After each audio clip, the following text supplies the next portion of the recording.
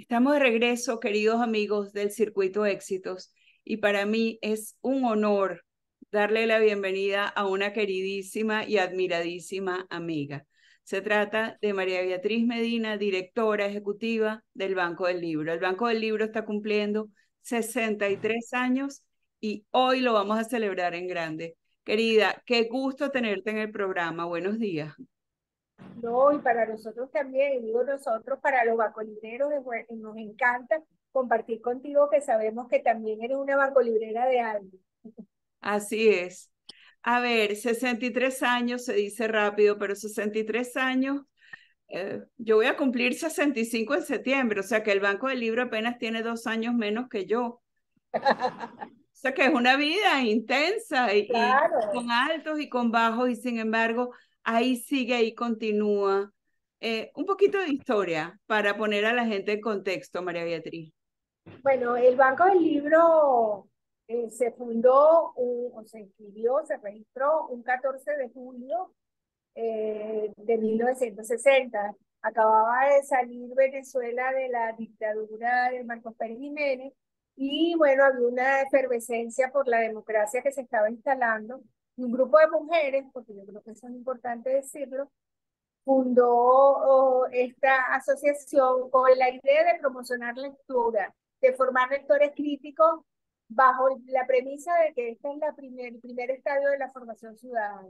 Entonces todo estaba como articulado, se creó una, una, un canje de textos escolares como primer proyecto y luego el Banco del Libro fue decantando muchas acciones. Yo creo, yo siempre digo que el Banco del Libro es una en común de varias generaciones. Em, creó los modelos bibliotecarios que conocemos que están en todas las bibliotecas del país.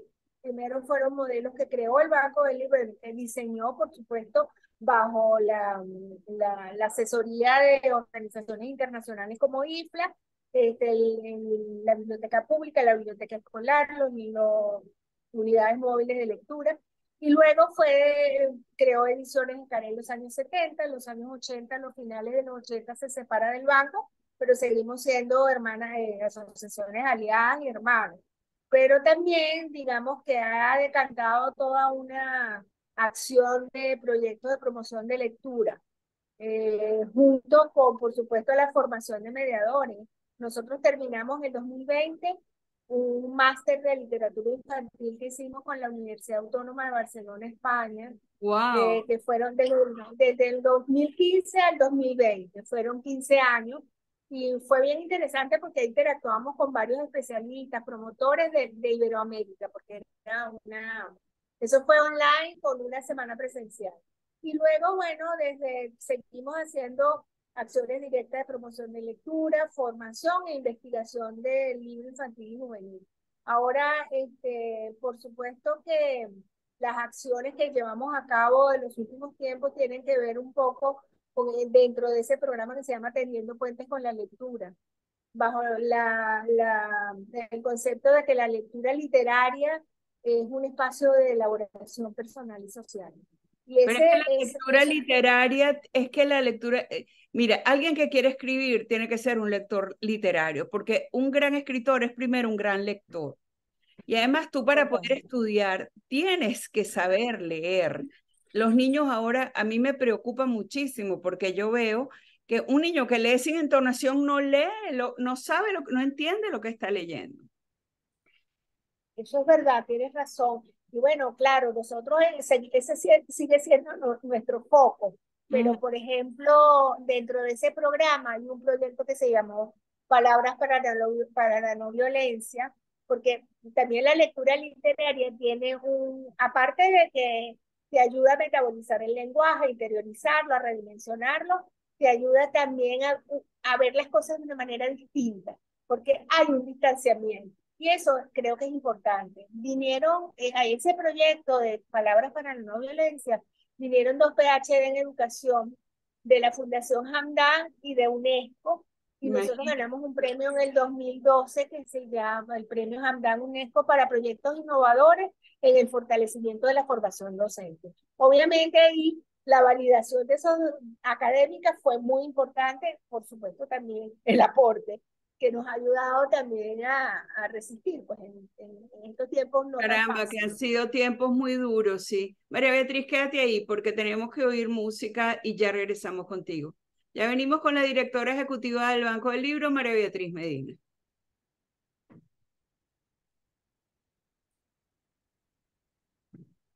Continuamos, amigos del Circuito Éxitos. Nuestra invitada a esta hora es María Beatriz Medina, directora ejecutiva del Banco del Libro. Estamos cumpliendo 63 años y hay una cantidad de actividades maravillosas que empiezan hoy a las 11 de la mañana. Cuéntanos, María Beatriz. Bueno, este, nosotros estamos cerrando lo que llamamos el, el mes aniversario, esos 63, con la, el, el veredicto de los mejores libros para niños y jóvenes, que también tenemos 43 años haciendo. Entonces va a haber una exposición, va a haber eh, eh, el, el, veredicto se va a leer, vamos a decir cuáles fueron los ganadores, siempre hay muchas expectativas porque todas las editoriales hispanohablantes nos mandan, o la mayoría, para no ser tan taxativas, porque ellos ya eso se ha transformado en un sello de calidad. Entonces tenemos allí el veredicto primero, luego a las once y media vamos a tener el UNDES 3, que es un espacio de lectura y narración de estos libros que han sido seleccionados. Pero además, eh, Caracas Laboratorio, que es que, que hace vida también aquí en el Banco del Libro, hay algunas asociaciones que tienen espacio, sus oficinas aquí. Él propició un encuentro que se llama Banco del Libro Puertas Abiertas, donde vamos a tener charlas sobre la lectura, por ejemplo, eh, vamos a tener charlas, charlas, eh, Cari va a hablar sobre la calle libre, eh, Inés Quintero va a hablar sobre Caracas, porque se mezcla con el aniversario de Caracas, obviamente. Este, Tierra Viva va a hacer una exposición de artesanía guarao y va a hablar de su proyecto, igual que Zona de Descarga. La poeteca va a tener una actividad de lectura de poemas, en realidad va a ser, yo digo que es una menú, un menú de opciones que cierra. o sea, que llegar a las, a las 11 de la mañana y quedarse todo el día en el banco del libro. O escoger a dónde ir, porque como hay tanta variedad a la hora que llegue va a haber una actividad. Cerramos a las 7 de la noche con Gran Cine que va a proyectar Yo y las Bestias. ¿Va a proyectar cuál, perdón? yo y las Bestias. Ah, Yo y las Bestias, claro. Yo entrevisté a, a Nicolás Manzano. Buenísimo.